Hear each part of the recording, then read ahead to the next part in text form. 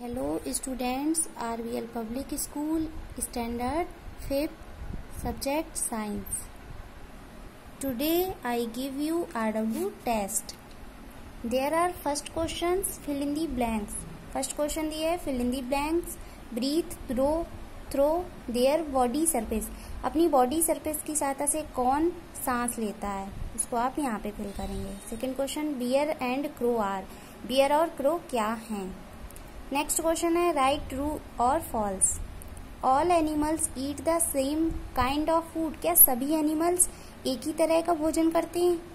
Next question है, अगर इसमें ट्रू है तो ट्रू आगे लिख दीजिए फॉल्स है तो देन फॉल्स सेकेंड क्वेश्चन है insect do not have wings के इंसेक्ट्स के पंख नहीं होते? हैं ट्रू है या फॉल्स है? नेक्स्ट है E snake does not have limbs snake के लिम्स नहीं होते, यानी कि हाथ नहीं होते हैं। Ostrich is a flightless bird ostrich flightless bird है।